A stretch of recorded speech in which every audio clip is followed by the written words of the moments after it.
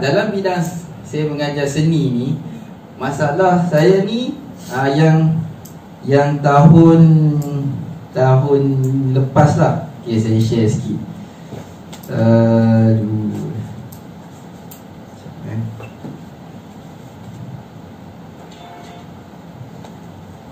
Okay, saya cipta benda ni. Benda ni uh, Itulah kalau cikgu bayangkan inovasi tu ada robotika Ada teknologi ke uh, Cikgu bergantung kepada objektif cikgu. Uh, Kalau cikgu memang nak terang tu Memerlukan uh, Nak apa uh, Nak bagi budak faham tu Memerlukan bantuan robotik. Uh, Cikgu teruskan. Uh, Tapi Jangan cikgu anggap kata Yang bukan robotik tu. Bukan. Tu uh, uh, Balik kepada objektif dia apa yang cikgu nak capai sebenarnya ha, okay. Contohnya pelajar saya ada masalah ni sekejap Saya beritahu lah Pelajar saya. Ha, Tapi rupanya Masalah pelajar saya itu adalah masalah sejagat. Cikgu-cikgu pun ada masalah yang sama. Dalam bab melukis lah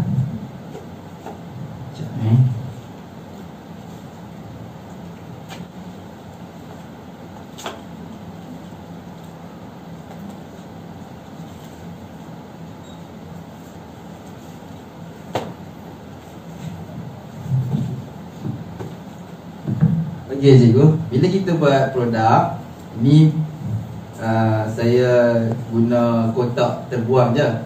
Kotak Maggi tu Jadi saya suka masak Maggi. Dia ada kotak tu Saya guna balik lah Kotak Maggi tu.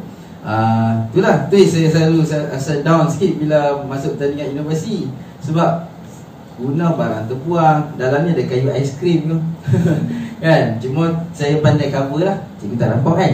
Cikgu ha, Jadi macam tu lah. Kalau cikgu nak guna barang-barang terbuang Sebenarnya ada markah dia sebenarnya. Ha, Cuma cikgu kena bagi nampak Commercial sikit. Ha, Tu tips lah dari saya. Cikgu cuba modify Bagi tak nampak lah kata tu sampah. Ha, Macam tu lah. Okay Okay Saya macam ni Budak-budak saya Dia akan dapat Memang tiap-tiap tahun Bukan saja soalan lah Ini kita panggil karya menggambar. Dia kena hasilkan karya menggambar. Kita satu, kita dua, kita tiga, kita empat, kita lima, kita enam. Semua kena ada karya menggambar. Dan budak pandai melukis pun ada masalah menggambar. Uh, Yang pandai lukis Yang tak pandai lukis Lagilah masalah. Okay So katalah contoh macam ni ya. Ni soalan SPM Tahu berapa Okay uh, Okey, saya cuba ambil lah satu sampel. Uh, seekor ular sedang melilit di atas di satu dahan dalam sebuah hutan tebal. Ular tersebut sedang memerhatikan seekor harimau. Gambarkan suasana tersebut dengan memberi penekanan kepada komposisi, ruang bentuk dan jalinan. Uh, jadi budak pun lukis. Okey, apa yang nak kena lukis? Ada dua haiwan kat situ. Iaitu juga apa dia tu? Haiwan uh, ular dengan harimau. Okey, bagus.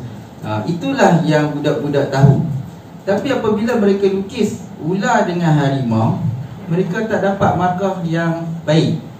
Kan? Mereka tak dapat perform lah. Uh, nak dapat A pun tak, B pun tak. Uh, kadang-kadang C dan D. Dia kata saya lukis ular jadi ular, saya lukis harimau jadi jadi harimau. Tapi kenapa saya cikgu bagi saya markah rendah? Cikgu pilih kasih. Ha. Kan? Uh, waktu ni lah kita nak explain Saya pun explain uh, Kamu kena bagi penekanan kepada komposisi Ruang, bentuk dan jalinan Lagi dia ha? Apa dia tu cikgu? Ha. Lepas tu saya terima Komposisi adalah ukuran saiz yang betul pada satu gambar ha? Berapa banyak hal lah cikgu Itu sebab Kalau lagi saya explain, lagi tambah masalah sebenarnya Ha, jadi di situlah tercipta inovasi inilah saya namakan kotak minda lah. Kotak mini diorama art. Mini diorama ni kita boleh menggunakan teknik kotak macam ni untuk bagi budak uh, dia punya trigger menggambar dia dengan betul. Okey contoh macam ni ya saya bukan ni ya saya cuma tunjuk contoh hak saya buat lah yang menarik perhatian juri pada ketika itu. Okey. Okey. Bila dia nak macam tu Okey So ini kotak Saya ambil bagi kosong macam ni. Okay Nah, cuma yang apa saya buat ni apa ada tempat letak ni nak bagi boleh stand lah. Okay, Entahlah lagi dah boleh stand macam ni. Okey. Dia nak yang pertama ya, Budak tahu ular. Okey Ular tu satu benda lagi Ialah ular yang melilitkan tadi kan? So saya cari di internet. Sebenarnya gambar di internet terlalu banyak dah contoh-contoh Tapi budak masih lukis ular tu masalah ha, Betul kan? Ha, so saya tunjuk contoh Okey Ini cikgu ambil gambar dari internet Ular melilit ada di internet Banyak Okey, type jumpa. Okey, jumpa dah. Masukkan dalam ni. Contohlah. Okey, ular. Okey, lepas tu harimau. Type jumpa. Okey, memerhatikan seekor harimau. Okey. Masukkan dalam ni. Ha. Okey ya. Ha.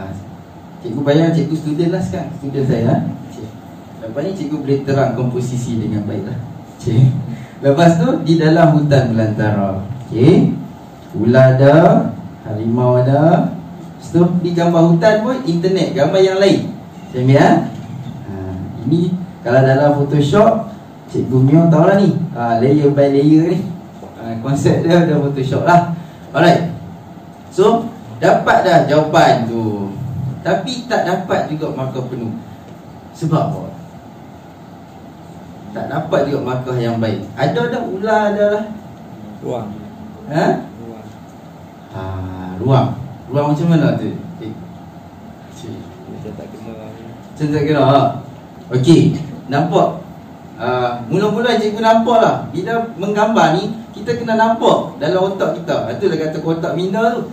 Okey, cikgu tengok sendirilah Apa masalah dalam ni Saya saja je bagi bermasalah gambar ni Tak menjawab soalan Ha, ya, tak berjawab tu apa masalah dalam ni? Sebab dia kata ulat duk tengok iman. Ah, itu yang yang paling penting sekali duk tengok lah ni dia dah buat apa? Duk usap memang biar.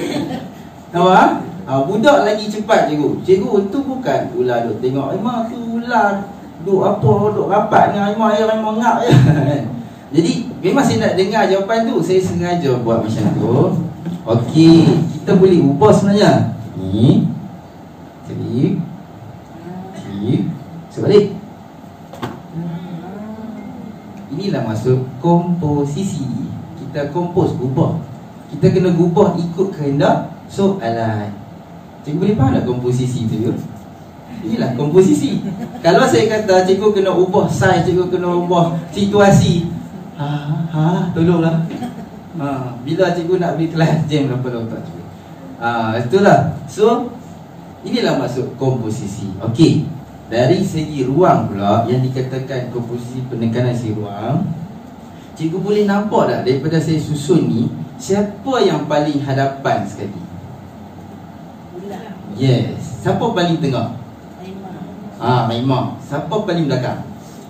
Hutan Itulah maksud ruang. Dia ada depan, tengah dan belakang. Ha, Nampak? Itulah kita kita bagi inovasi. Kita cuba sesuatu lah ha, Tapi cikgu jangan risau.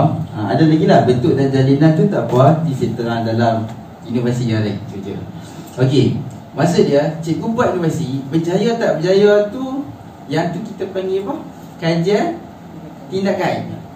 Kalau tak berjaya Cikgu repair lagi Kenapa tak berjaya Kalau berjaya Cikgu teruskan Murnikan lagi dan lagi dan lagi lah Ha, okey, tengok. Nampak tak? Ha, uh, daripada cikgu main kelas saya seberapa minit ni, ya dalam beberapa minit ni cikgu dah berbalik, cikgu cikgu dah tahu dah. Cik, tengok gambar ni, ini komposisi tak betul ni. Cik.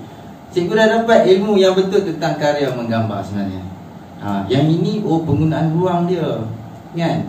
Ha, tak apa tak apa clear lah. Kalau cikgu dapat ini, cikgu boleh apply dalam fotografi. Sekarang budak tingkatan satu, eh, sorry, tingkatan dua dan tiga, mereka tingkatan empat dan lima, mereka kena belajar seni fotografi. Oh, dalam bidang seni lah. Ha. Jadi, komposisi ni daripada tingkatan satu dah kena betul lah. Tapi macam mana cikgu, saya sebagai seorang cikgu, nak membetulkan budak komposisi budak daripada tingkatan satu?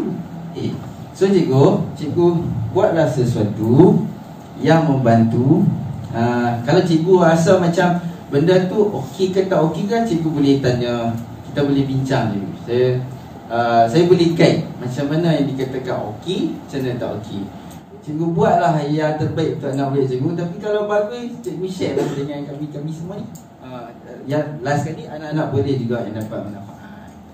Uh, Okey, sekian dari saya. Terima kasih